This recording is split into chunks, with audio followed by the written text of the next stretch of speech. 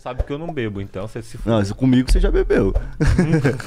Não, já bebeu umas duas cara, vezes. gravar, pra gravar lá 10 anos atrás. É, mas é, então, foi lá mesmo.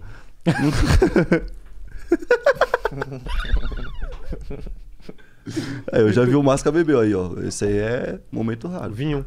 Vinho é. Não, já bebeu aquela porra lá que é rabo de cavalo. Ficou bebaço também? Viado, uma vez eu bebi. tipo, os moleques estavam com uma- um whisky falso, um red label falso.